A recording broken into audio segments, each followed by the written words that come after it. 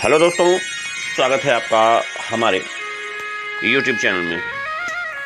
आइए, आज के इस वीडियो में महत्वपूर्ण प्रश्नों की कड़ी में हम लोग प्राचीन भारतीय चित्रकला से संबंधित कुछ प्रश्नों को देखेंगे और उनके क्या उत्तर हैं, आप देखेंगे। और इस कड़ी में हमारा पहला प्रश्न है, भारत में प्रागैतिहासिक औज़ार की खोज का श्रेय किसे जाता है? विकल्प है कार्लाइल, काकबर्न, कनिंघम और ब्रासफुट। तो इस प्रश्न का सही उत्तर है ब्रासफुट। दरअसल, यहाँ प्रागैतिहासिक औज़ार की बात की गई है, ना कि प्रागैतिहासिक चित्र की। अगर प्रागैतिहासिक चित्र के खोज की बात की जाती तो जाग, काकबर्न और अर्चीबोल्ड कार्लाइल के द्वारा चित्र की खोज हुई थी।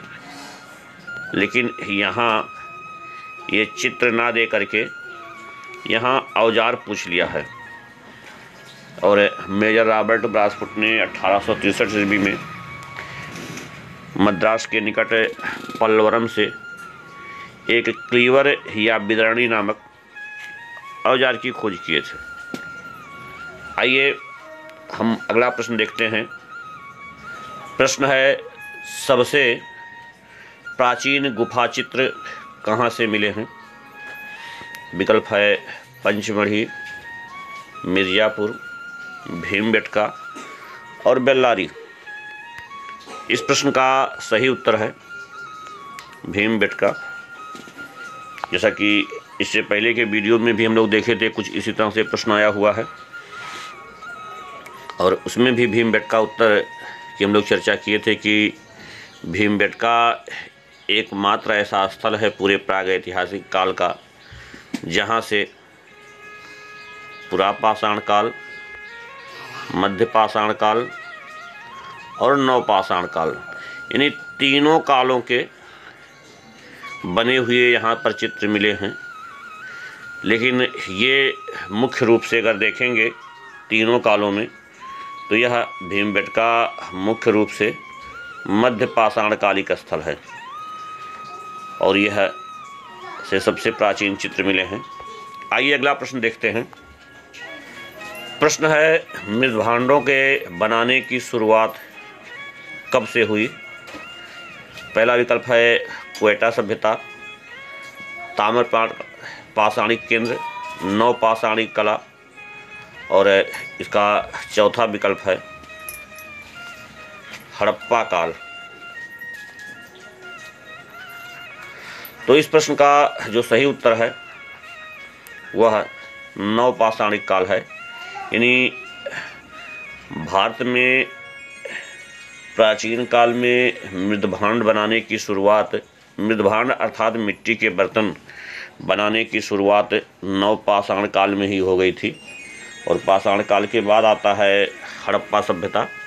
हालाँकि हड़प्पा सभ्यता में भी मिट्टी के बर्तन बने हैं, मृदभांड बने हैं, लेकिन यहाँ अलंकृत मृदभांड बने हैं, मृदभांडों पर बढ़िया विधिवत चित्र बनाए गए हैं। लेकिन पहली बार जो मृदभांड बना है, वह नवपाषाण काल में है। आइए अगला क्वेश्चन देखते हैं। भारत में प्रथम वैज्ञानिक आविष्कार किसे मानते हैं? विकल्प है तांबे के बाण कांचे का बनाना मृदभांडों का बनाना और चौथा विकल्प है पहिए का बनाना। इस प्रश्न का सही उत्तर है पहिए का बनाना। असल में पहिया से आदिमानव के जीवन में कई परिवर्तन आते हैं। पहिया से उनका जीवन सुगम हो गया, पहिया से चाक का आविष्कार हुआ जिससे मृदभांड अर्थात मिट्टी के बर्तन बनने शुरू हो गए। तो ये पहिए का बनना, इसे वैज्ञानिक आविष्कार माना जा सकता है। और इसलिए इस प्रश्न का जो सही उत्तर है, वो पहिए का बनना है। आइए अगला क्वेश्चन देखते हैं। प्रश्न है, सर्वप्रथम उगाई जाने वाली फ़सल कौन सी थी? तो यहाँ विकल्प में कपास है, गेहूँ और जव है, दाल है, चावल है। तो इसका सही विकल्प गेहूँ और जव है। यव शब्द का भी उल्लेख हुआ है यव का तात्पर्य जव से लिया गया है। आइए अगला प्रश्न देखते हैं। मनुष्य के सहचर के रूप में हमें किस जानवर के प्रमाण मिले हैं? विकल्प है घोड़ा गाय, बकरी और कुत्ता। तो यहाँ मनुष्य के सहचर के रूप में जो पशु है, वो कुत्ता है। और कुत्ते और मानव के सहचर के प्रमाण मध्य पाषाण काल से ही मिलने शुरू हो जाते हैं। और मानव ने सबसे पहले कुत्ते को पालना शुरू किया और धीरे धीरे कई पशुओं को मानव ने पाला, लेकिन सबसे पहले मानव के द्वारा पाला जाने वाला पशु कुत्ता था। आदमगढ़ के चित्रों की खोज किसने की? विकल्प है W Anderson H D garden Manoranjan Ghosh और हैकेट तो इस प्रश्न का जो सही उत्तर है, वह है मनोरंजन घोष। आदमगढ़ के चित्रों की खोज करने वाले मनोरंजन घोष थे। आइए अगला प्रश्न देखते हैं। भारत में सामाजिक जनजीवन से संबंधित चित्र कहाँ से मिले हैं? विकल्प है आदमगढ़ की पहाड़ियों से भीमबेटका पहाड़ियों से, कैमूर पहाड़ियों से और महादेव की पहाड़ियों से। यहाँ देखिएगा सामाजिक जनजीवन की बात की गई है। तो अगर यहाँ सामाजिक जनजीवन से संबंधित चित्रों की बात सबसे पहले होगी तो ये है महादेव की पहाड़ियों से। यहाँ पर प्राग ऐतिहासिक काल में सामाजिक जनजीवन से संबंधित चित्र बड़े पैमाने पर मिले हैं। आइए अगला प्रश्न देखते हैं। मानव द्वारा प्रयोग किया जाने वाला प्रथम औज़ार माना जाता है। विकल्प है बूम रेंग हल गदा और कुल्हाड़ी।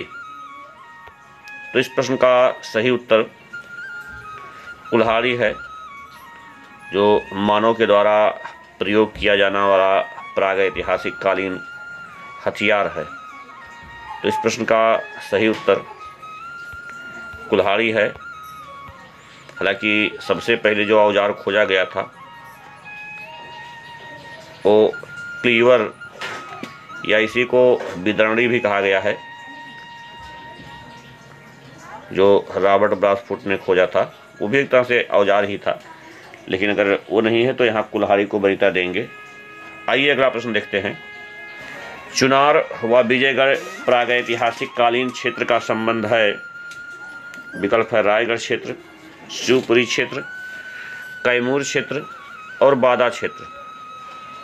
तो इस प्रश्न का जो सही उत्तर है, वो है कैमूर क्षेत्र और चुनार विजयगढ़ है। ये कैमूर क्षेत्र के अंतर्गत आते हैं। आइए अगला प्रश्न देखते हैं।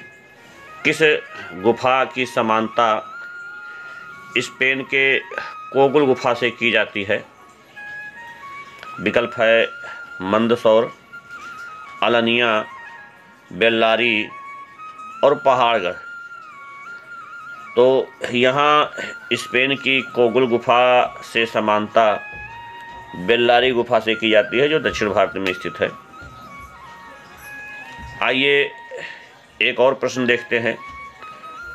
भारतीय प्रागैतिहासिक चित्रकला पुस्तक के लेखक कौन हैं? विकल्प है ब्राडरिक, पिगट, जगदीश गुप्ता, अमरनाथ दत्त। तो इसका सही उत्तर है डॉक्टर जगदीश गुप्ता, जो इलाहाबाद विश्वविद्यालय से जुड़े हुए थे। तो दोस्तों, कई लोगों का कमेंट था कि प्रश्नों की बहुत ज़्यादा व्याख्या ना की जाए। प्रश्न का सीधे उत्तर बता दिया जाए। तो इस बार प्रयास ये किया गया है कि प्रश्नों के ज़्यादा व्याख्या ना करके सीधे उत्तर बता दिया गया है। तो यह प्रयास हमारा कैसा लगा? अपने कमेंट के माध्यम से हमें अवश्य सूचित करिएगा। हमसे जुड़ने के लिए, हमारी वीडियो को देखने के लिए आप सबका बहुत बहुत धन्यवाद।